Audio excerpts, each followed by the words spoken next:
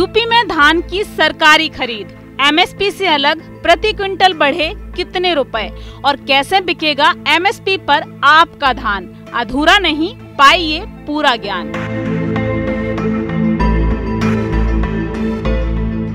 हम अपने दर्शकों को बता दें कि ग्रीन टीवी का व्हाट्सएप नंबर बदल गया है। कृषि संबंधी किसी भी सवाल का जवाब जानने के लिए अब से आप हमारे नए नंबर नौ पाँच चार शून्य तीन शून्य शून्य शून्य शून्य तीन पर व्हाट्सएप के माध्यम से अपने सवाल हम तक भेज सकते हैं। देश के किसानों को अपनी फ़सल का वाजिब दाम मिले, इसके लिए केंद्र व राज्य सरकारें अपने अपने स्तर पर प्रयासरत हैं। इसी कड़ी में यूपी सरकार ने किसान के हित को ध्यान में रखते हुए धान की खरीद नीति में कई बड़े फैसले लेते हुए इस पर मोहर लगा दी है।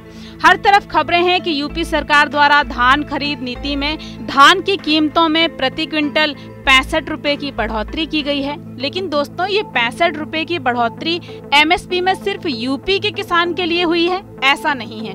आपको बता दें कि केंद्र सरकार ने खरीफ विपणन वर्ष 2019-20 के लिए धान की एमएसपी में पैंसठ रुपए की बढ़ोतरी की है और फ़सलों की बढ़ी हुई एमएसपी का ऐलान काफ़ी वक्त पहले हो चुका है। इसलिए आप ये बिल्कुल न सोचें कि सिर्फ़ यूपी के किसान के लिए धान की एमएसपी में पैंसठ रुपए की अतिरिक्त बढ़ोतरी की गई है। हाँ यूपी के किसान का धान पर प्रति क्विंटल मुनाफा बढ़ा है, लेकिन एमएसपी वही है, उसमें कोई बदलाव नहीं हुआ। पूरी खबर जानने के लिए वीडियो को अंत तक ज़रूर देखिए। ग्रीन टीवी अगर पहली दफ़ा आप देख रहे हैं तो यूट्यूब चैनल को सब्सक्राइब करना बिल्कुल न भूलें और वीडियो को शेयर ज़रूर करें, क्योंकि हमारा उद्देश्य अपने दर्शकों को अधूरा ज्ञान नहीं, पूरी जानकारी देना है। तो चलिए वापस विषय पर लौटते हैं। दोस्तों, केंद्र सरकार ने सामान्य धान का एमएसपी जो खरीफ विपणन वर्ष 2018-19 के लिए सत्रह सौ प्रति क्विंटल था, वो बढ़ाकर खरीफ विपणन वर्ष 2019-20 के लिए अठारह सौ प्रति क्विंटल कर दिया है।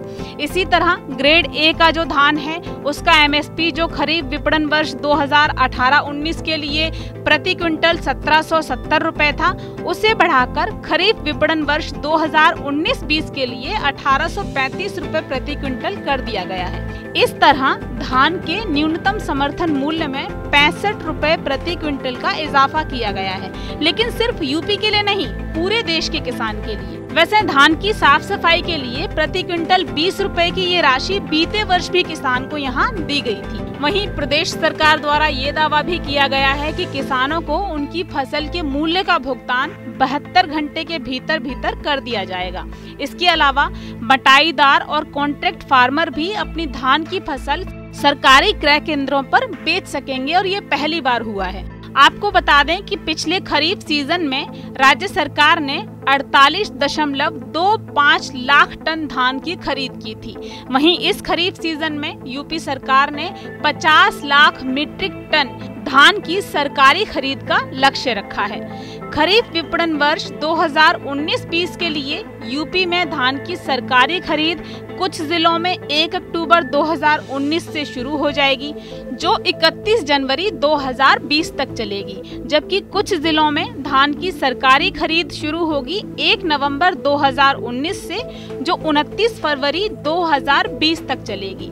जिन जिलों में 1 अक्टूबर 2019 से धान की सरकारी खरीद शुरू हो रही है। उनमें है लखनऊ संभाग के हरदोई, सीतापुर, लखीमपुर जनपद और संभाग बरेली, मुरादाबाद, मेरठ, सहारनपुर, आगरा, अलीगढ़ और झांसी। और जिन जिलों में 1 नवंबर 2019 से धान की सरकारी खरीद शुरू हो रही है, उनमें है लखनऊ संभाग का लखनऊ, रायबरेली, उन्नाव और चित्रकूट जनपद और संभाग कानपुर, अयोध्या देवी पाटन बस्ती, गोरखपुर, आजमगढ़, वाराणसी, मिर्जापुर और प्रयागराज। हम अपने दर्शकों को बता दें कि धान खरीद का पूरा सिस्टम ऑनलाइन होगा और सरकारी क्रय केंद्रों पर धान बेचने के लिए पहले किसानों को खाद्य एवं रसद विभाग, उत्तर प्रदेश सरकार की website F C S dot dot G O V dot in पर रजिस्ट्रेशन कराना होगा।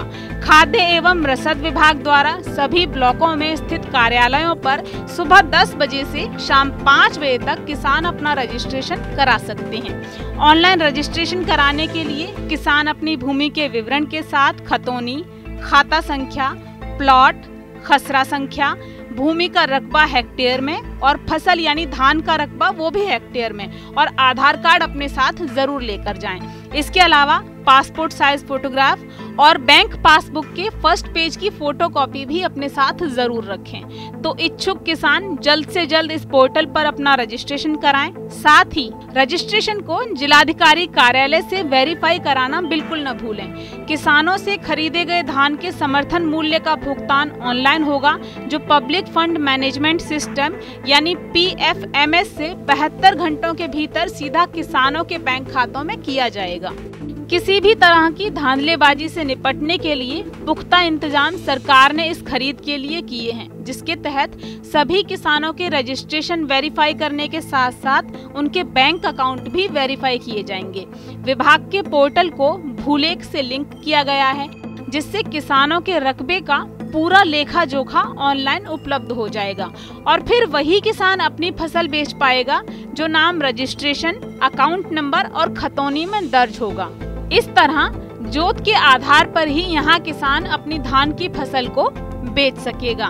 बटाईदारों और कॉन्ट्रैक्ट फार्मर्स से धान की खरीद के लिए भी यहाँ कुछ नियम बनाए गए हैं, जिसके तहत बटाईदार और कॉन्ट्रैक्ट फार्मर को मूल किसान से सहमति पत्र लेना होगा। उसके बाद ही उसके नाम से धान की खरीद का रजिस्ट्रेशन किया जाएगा। ऐसे किसान 100 क्विंटल धान ही बेच सकते हैं। मूल किसान धान की बिक्री यहाँ नहीं कर पाएगा।